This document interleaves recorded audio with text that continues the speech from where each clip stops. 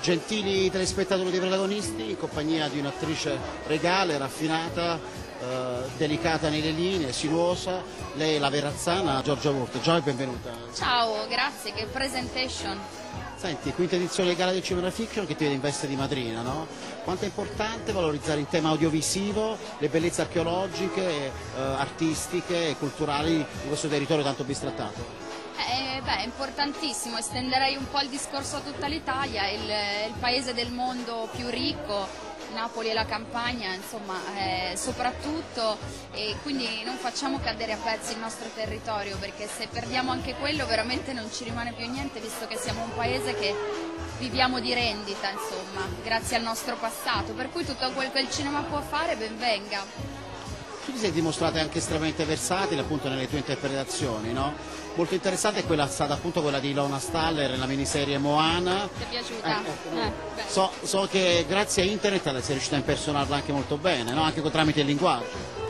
Sì, beh, ho studiato il personaggio di Cicciolina grazie ai video che ho trovato su YouTube, su internet. ehm, eh, sì, è un grande archivio estremamente accessibile e mm, per studiare personaggi reali è, è molto utile, sì. So che prima ti consideravi un'eterna seconda, no? nei provini, anche con gli uomini, eppure la tua carriera, vista l'ascesa che hai fatto, va in controdirezione, anzi, eh, bisogna dire che oggi primeggia anche i ruoli 8, no? penso alle tre rose di Eva, per esempio con Tessia, no? si può dire che oggi primeggi in lungo e largo.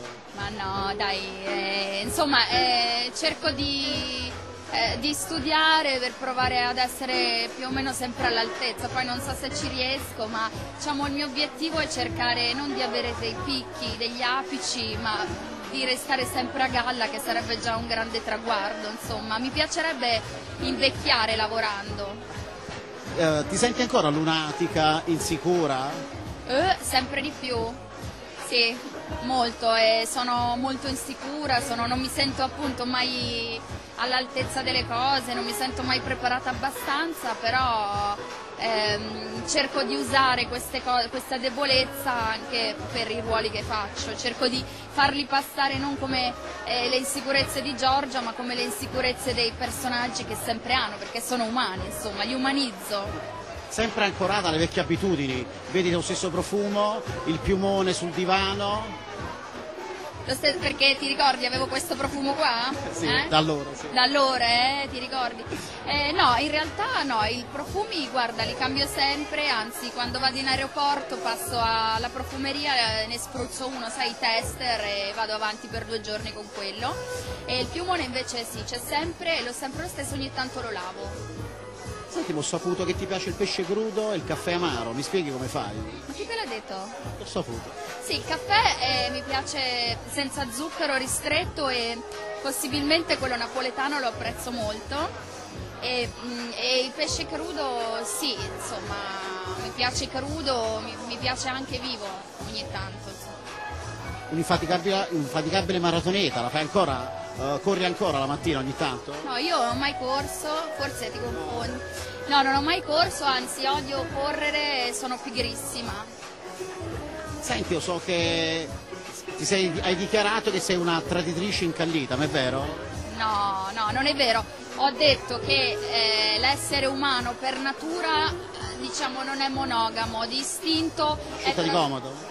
No, è una scelta di comodo, nel senso che per convenzione sociale si è scelto un modello di coppia che eh, teoricamente, almeno in teoria, prevede la fedeltà. Eh, non sempre la ottiene, ma io no, anzi adesso sono... No, no, non sono una traditrice.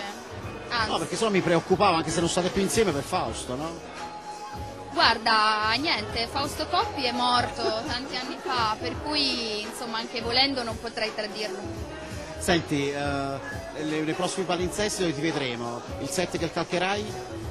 Guarda, sto girando adesso un film eh, con un attore che stimo moltissimo che è Giancarlo Giannini, Stiamo- arrivo proprio adesso da Venezia dove stavamo girando e poi uscirà una commedia, si chiama Una notte agli studios. eh, con la regia di Claudio Insegno e un film eh, sempre al cinema Oggetti smarriti di Giorgio Molteni, lo sapevi? In ultimo, il complimento più bello che ti piace ricevere? Ma a me piace tanto, non so, quando mi piace molto l'aggettivo intenso.